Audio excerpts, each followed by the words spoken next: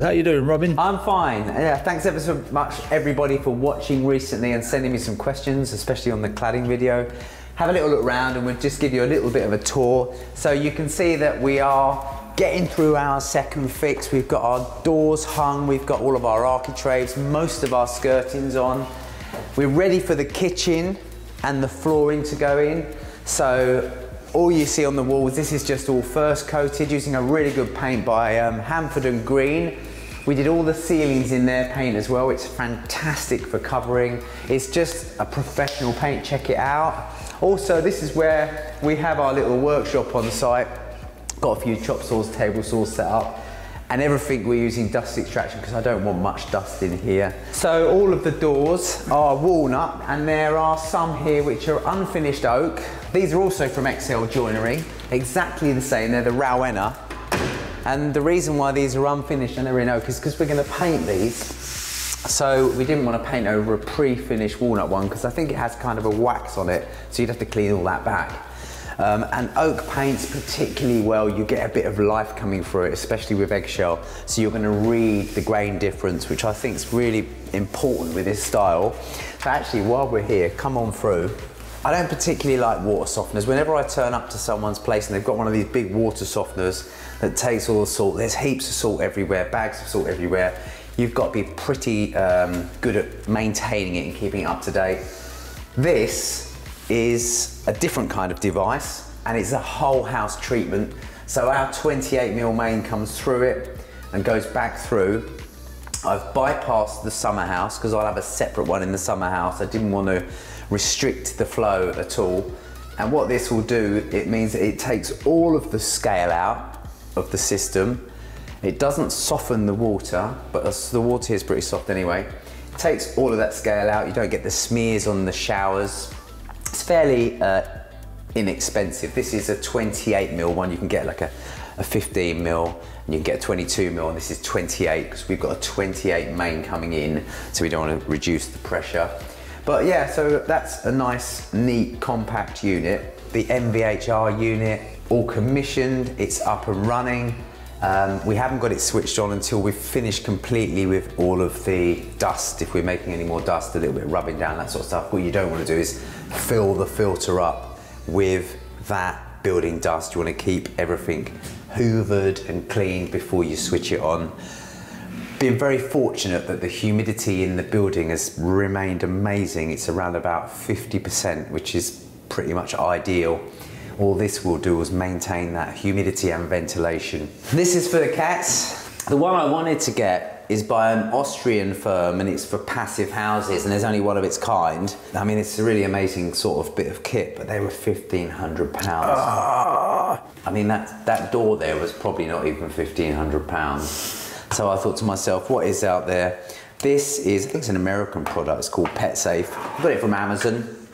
Um, around about a hundred pounds, but it's pretty good. So the inside door and the outside door exactly the same, magnetic, gasketed, and it's pretty draft free. Let's hope them little cats use it. So the kitchen's being made at the moment, all the panels are being made, and then I'm gonna bring it all here, put it all together. It's at Cutwrights at the moment. You've heard me talk about Cutwrights. They make my door linings, they make my shelves, they make pretty much everything. They made the boiler room. So they don't know what they're making because all they do is cut panels and edge panels. But if you can remember the inside of my boiler room, I've got an Egger product. So it's an Egger material and it's amazing. It just, um, the reason I use this nice dark material is I wanted it to look pretty contrasting against the copper and the chrome and everything else. Also, you can't really read a pencil mark if the plumber's put a little mark or the sparky's put a little mark, it will wipe off. and You can't really see that. There's the vacuum system, that's all up and running and commissioned now. So that will work if I plug the hose in. That's also somewhere where you can plug the hose in as well. Boiler, all again up and running, commissioned. Megaflo. Listen, listen to this. Ah, oh, it's beautiful. Bathroom in brush brass. Um, we just have the silicone to put in and a vanity unit that I'm making. And so this is ready to rock. Bit more grouting on the marble. Tiler's done an excellent job. He's had to do herringbone, so he's had to cut all these individual pieces. The floor is also herringbone. It's all covered up. Um, so it's a little bit of a job when you're using uh, marble, but what they did do is they wrap the cuts around the corner, so that tile is that tile, that tile is that tile. And um, I'm particularly grateful that the guys took a lot of care over doing the job. Um, that means a lot to me. What was the name of the tilers? And they, the guy's name's Alex, and so I'll leave a little link for him um, in the description. That's probably the best thing to do. He's a really good guy. We've got all the bedrooms on this side of the house. Um, this is one which is nigh on there. So it has an ensuite shower room. We have a glass screen which runs out here, and then a recessed wall cabinet, um, and just a very simple vanity type unit, and our um, Abacus toilets and frames, which are really particularly nice. And these are um, a Screwfix type tower. We are just putting together some wardrobes in this room as well. We started these uh, yesterday. This is also manufactured for me, so I design the boxes and then I choose the material. This is a, an, an Egger product as well. It's like a, a linen type finish. Really nice for cupboards, especially the linen because you've got clothes in there and that sort of stuff. It sort of, sort of works really well. And then we've got this high gloss. This is where we'll probably put shoes because it's quite nice and dry and warm. And I think that's quite nice. So this will be racked out for shoes. I'll put a panel over here, which is easily removable, obviously. This is a Cutwrights product. They produce all these panels, drilling, they do everything, even all the hinge holes. Oh, so the blums are all done? Everything is done, the drawer runner holes are done.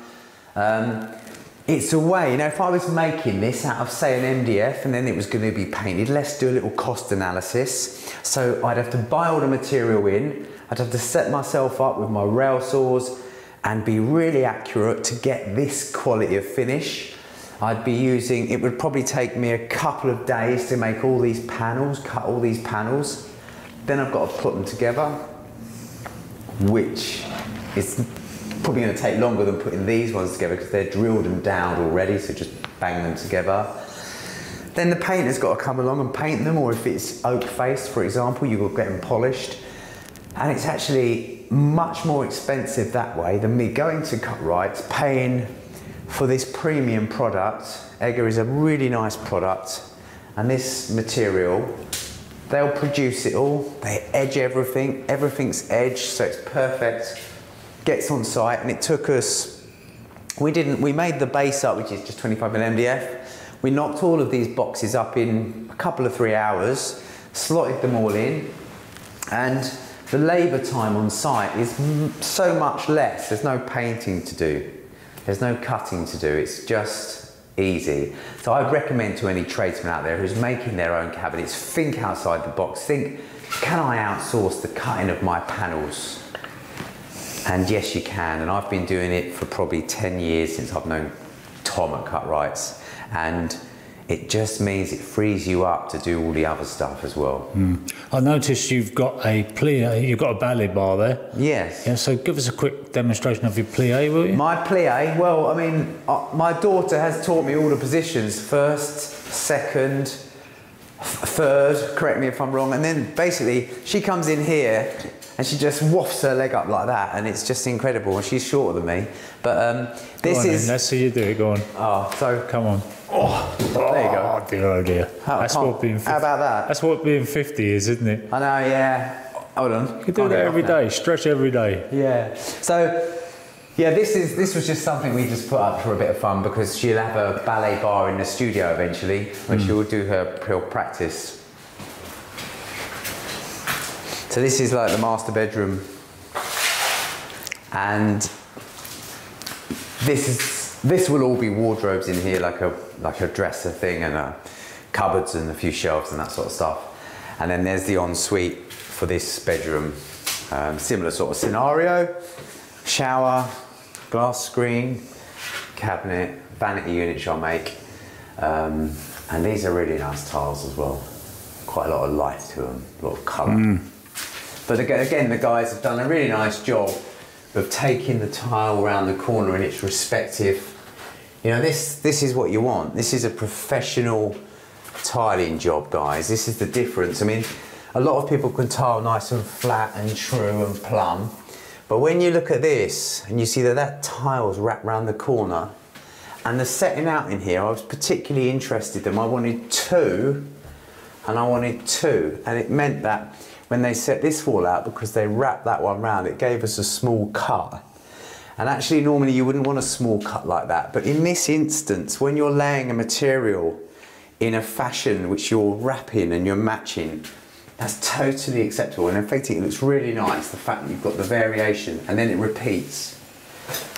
So the guys have, you know, excelled themselves, and we've got like a marble mosaic floor. They took a lot of care over that as well.